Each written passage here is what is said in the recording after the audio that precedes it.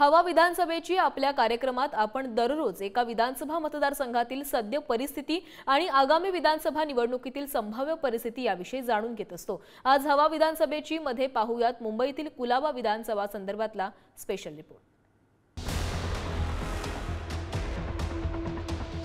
आतापर्यंत चौदा वेळा विधानसभेच्या निवडणुका झाल्यात. त्या चौदापैकी नऊ वेळा या मतदारसंघात काँग्रेसचा हात मजबूतीनं पुढालाय दोन हजार चौदा साली पहिल्यांदा या मतदारसंघातून भाजपचा उमेदवार राज पुरोहित यांच्या रूपानं निवडून आला. दोन हजार एकोणीस साली मात्र पुरोहित यांच्याऐवजी राहुल नार्वेकर यांना तिकीट देण्यात आलं आणि भाजपचा उमेदवार दुसऱ्यांदा निवडून आला. आताच्या घडीला विधानसभा अध्यक्ष असलेले राहुल नार्वेकर यांचं नाव महायुतीकडून निश्चित असल्याची चर्चा आहे. महायुतीतून इतर कुणी या मतदारसंघासाठी इच्छुक असल्याचं अद्याप तरी समोर आलं नाहीये. त्यामुळे नार्वेकर यांच्या समोर महाविकास आघाडीकडून कोण मैदानात असू शकतं तेही पाहूया. काँग्रेसचे ॲडव्होकेट रवी जाधव आणि ठाकरेंच्या शिवसेनेचे विभाग प्रमुख संतोष शिंदे हे या मतदारसंघातून इच्छुक आहेत. मी केलेल्या कामांच्या जोरावर मी निवडून पुन्हा जिंकेन असा विश्वास राहुल नार्वेकरांनी व्यक्त केलाय. तर ठाकरेंचे विभाग प्रमुख संतोष शिंदे आणि काँग्रेसचे ॲडव्होकेट रवी जाधव हे तिकिटासाठी प्रयत्न करतायत सगळ्या वर्गाला अपील होईल आणि सगळ्या वर्गांना समजून त्यांचं काम करू शकेल असा आमदार अपेक्षित असतो. त्यामुळे राहुल नार्वेकरांची आपण गोष्ट केली तर त्यांचं बॅकग्राऊंड बघितलं तर ते उच्चाभ्रू आणि हायराईजमधल्या वोटर्सबरोबर वोटर्स बरोबर तेवढ्याच सहजपणे इंटरॅक्ट करू शकतात त्यांचे प्रश्न सोडवू शकतात. तिकडच्या स्थानिक लोकांचे प्रश्न अत्यंत योग्यरित्या समजून गेले पाच वर्ष.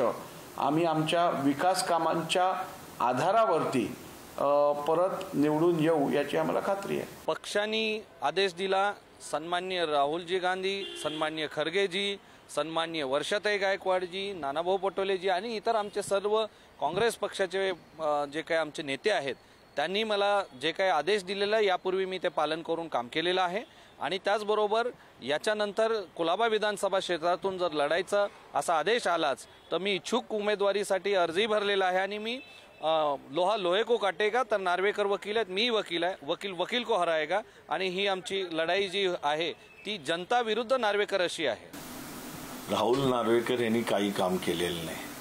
आणि पाच वर्ष जर त्यांनी काम केलं असतं आणि ज्यांनी त्यांना वोटिंग दिलं त्यांच्याबरोबर त्यांनी विश्वासघात केलेला आहे. कारण ज्या शिवसेनेमुळे ते ह्या मतदारसंघामध्ये निवडून आले त्या शिवसैनिकांच्या मतांचा विचार न करता जो त्यांनी निर्णय दिला ते न्यायालयाच्या खुर्चीत बसले होते. त्यांनी न्याय करायला पाहिजे होता पण तो केला नाही. त्यामुळे कुलाब्यातली जनता त्यांना त्यांची जागा दाख दोन हजार एकोणीस विधानसभेत आणि दोन हजार चोवीस लोकसभेत या विधानसभा मतदारसंघामध्ये मतदारांनी कुणाला पसंती दिली आहे तेही पाहूयात.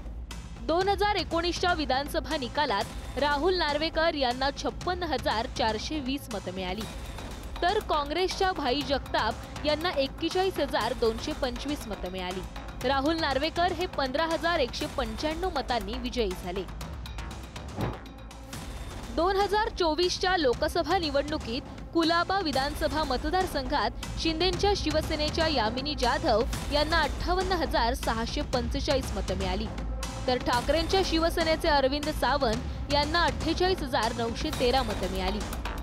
महायुतीच्या यामिनी जाधवांना नऊ हजार सातशे बत्तीस मतांचं लीड मिळालं. दोन हजार एकोणीस विधानसभा आणि दोन हजार चोवीस लोकसभा.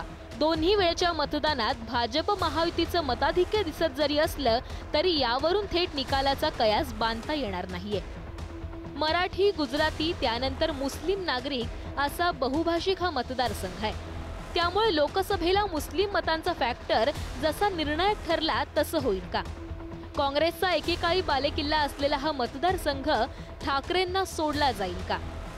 मिलिंद देवरा यांच्या महायुतीतील एंट्रीनंतर व्यापारी वर्ग कोणाच्या पाठीशी उभा राहील?